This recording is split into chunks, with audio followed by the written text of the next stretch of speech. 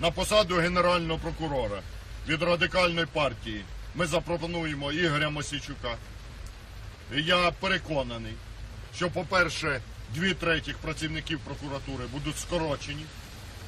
Нам не треба в Україні 15 тисяч прокурорів, дармоїдів, хабарників і корупціонерів. Переважна більшість. На всю Україну вистачить 2-3 тисячі прокурорів, і які не будуть виконувати політичні замовлення. Ні прокурори, ні судді.